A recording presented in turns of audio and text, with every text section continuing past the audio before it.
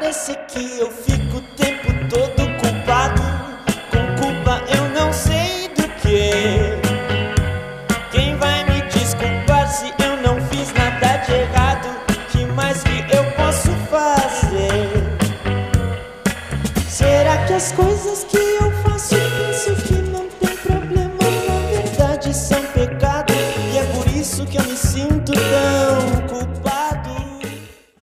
Olá, boa noite. Em junho de 2012, o grupo Terno lançou o seu primeiro disco, que foi considerado por muitos especialistas um dos mais impressionantes discos de estreia de uma banda brasileira.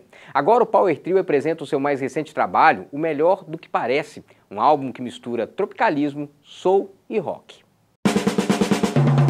Deixa fugir,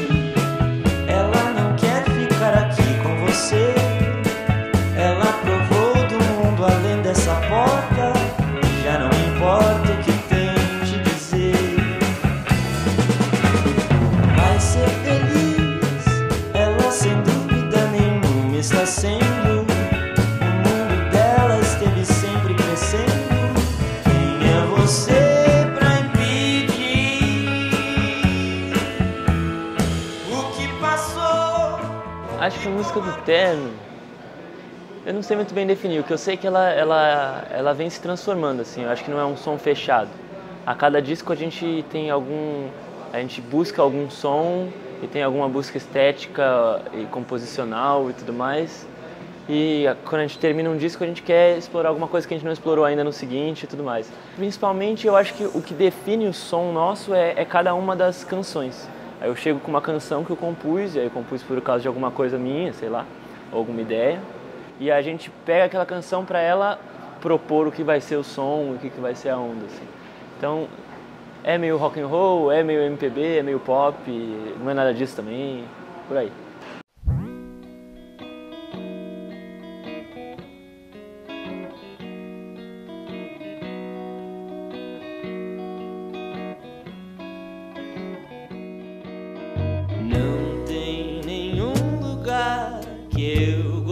Goste mais do que as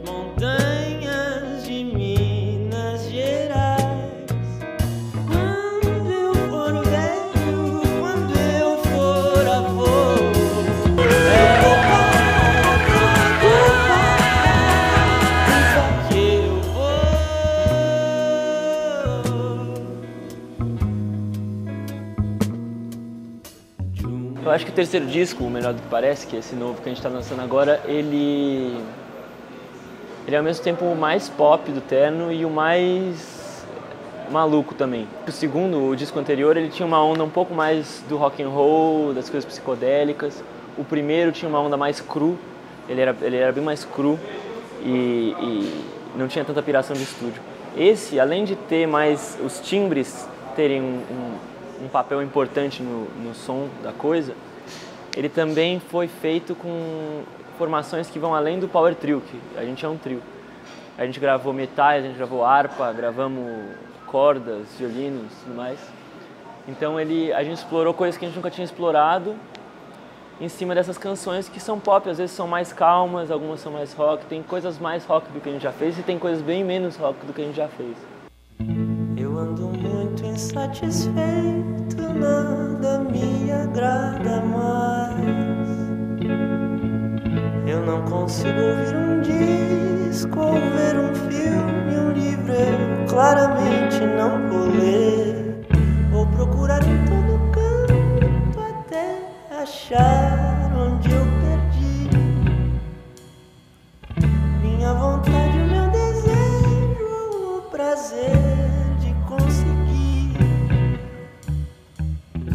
paciência que eu preciso.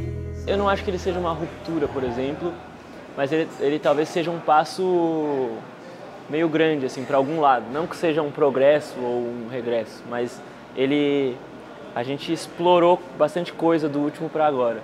São estilos que a gente não tinha explorado tanto e até por isso que a gente sente prazer de explorar, assim, para conhecer coisa nova e aprender coisa nova. Eu acho que ele é um disco bem variado, assim, ele faz sentido com o último, ao mesmo tempo ele é diferente. Acho que o mais fácil é ouvir mesmo e aí vocês me contam o que vocês acharam.